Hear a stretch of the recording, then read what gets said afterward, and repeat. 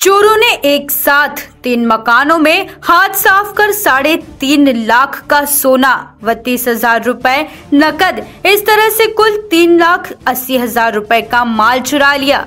दो अन्य घरों में चोरी का प्रयास विफल रहा। चोर गाँव के मुर्गों को भी चुरा ले गए। ये घटना भंडारा तहसील के हत्तीडोई ग्राम में 20 जून की रात को हुई। डेढ़ हज़ार जनसंख्या वाले हत्तीडोई ग्राम में अब तक कभी भी चोरी की वारदात नहीं हुई। 20 जून को ग्रामीण अपने घरों में सोए हुए थे। ग्राम के सुदर्शन भूरे के मकान में टाइल्स लगाने का काम शुरू है। चोरों ने खेतों से होते हुए पिछले दरवाजे से घर में प्रवेश कर साढ़े तीन लाख का उन्नीस तोला सोना व नकद चौबीस हज़ार रूपए चुरा लिए।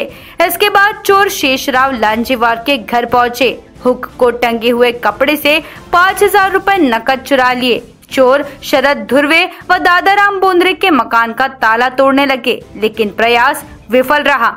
अंत में चोर राजेश लांजीवार के घर पहुँचे और आठ दस मुर्गे चुरा ले गए।